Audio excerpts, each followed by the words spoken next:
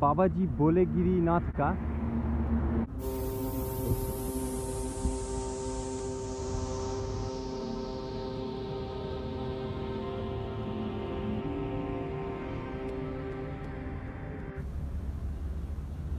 यह इस बाबा जी के बैठने का स्थान है। यहाँ बाबा जी बैठते हैं। आप देख सकते हैं ये जो उनकी फ़ोटो है, उन्होंने तकरीबन मेरे ख्याल से पचास से ज़्यादा, यानी तकरीबन पचास साल से उनका हाथ एक ऊपर है, जो नाखून भी नहीं काटे हुए, उन्होंने एक तपस्या की हुई है। यहाँ बैठने का स्थान है बाबा जी का, यहाँ पे मंदिर है और भी। और ये धुनी यहाँ पे बाबा जी की। मुझे आशा है कि आपको ये मंदिर के बारे में बहुत जानने की आशा होगी। मैं अपनी कोशिश करूँगा बाबा जी से सवाल करने की, पर बाबा जी ज़्यादातर जवाब नहीं देते हैं। स्टिल ऑल फ्रॉम बेस्ट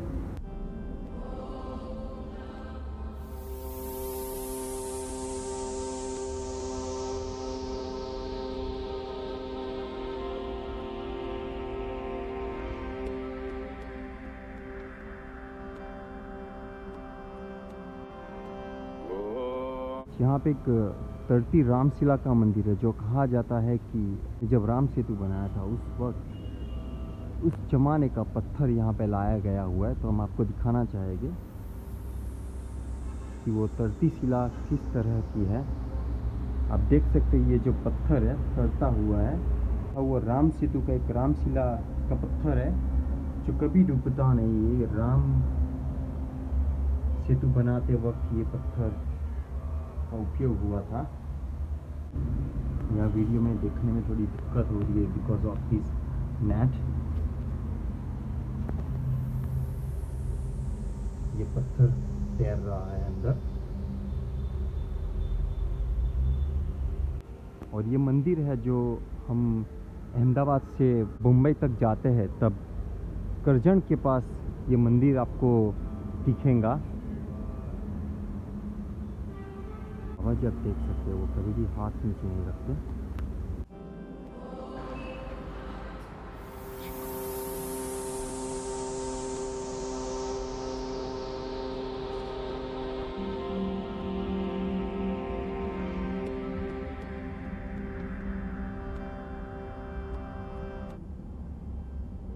कितने बरस हुए बाबा जी आपको ये?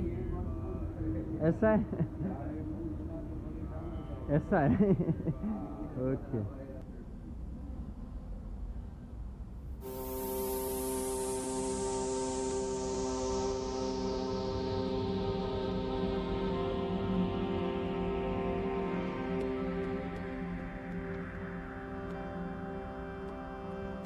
तपस्या है ये गुरु महाराज हमारे जो दत्तात्रेय थे दत्तात्री हैं, गुरु महाराज। जब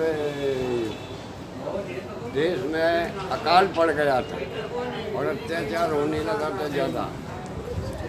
पाप ज़्यादा बढ़ने लगा था।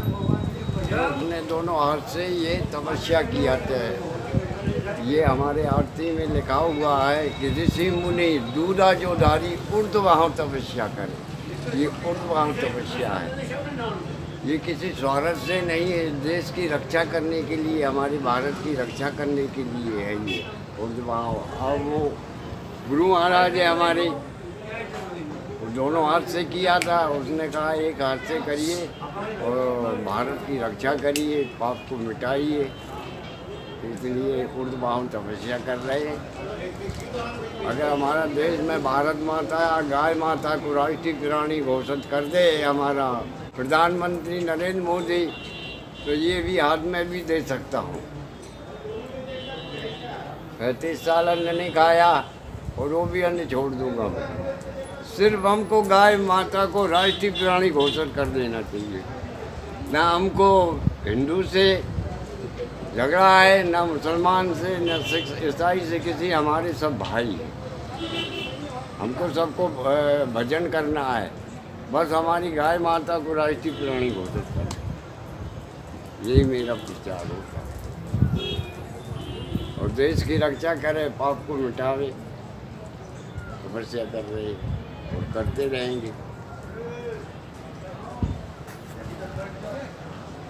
शरीर मांगे, भगवान के शरीर दे दो या कोई भी मांगे कि शरीर दे दो, भोला कि तुम शरीर भी पूरा दे सकता हो। मगर पाप मिटना चाहिए। पाप हो रहा है हमारे देश में। गाय माता की जय। और आपने?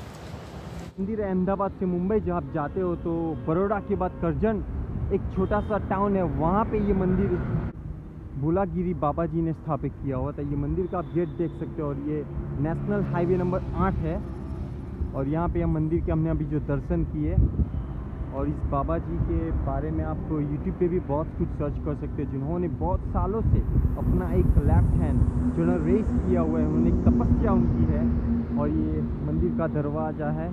अब जब भी आओ तो आप ये नेशनल हाईवे नंबर एट पे आप यहाँ पे, यहाँ इस साइड बड़ोड़ा है और इस साइड मुंबई है तो आप यहाँ पे इस मंदिर के दर्शन करने का आपको अवसर मिल सकता है। मुझे आशा है कि आपको ये वीडियो बहुत ही अच्छी लगी होगी। अगर आपको ये वीडियो अच्छी लगी है तो please do not forget to like this video subscribe this channel and share this video thank you to our jai sri ram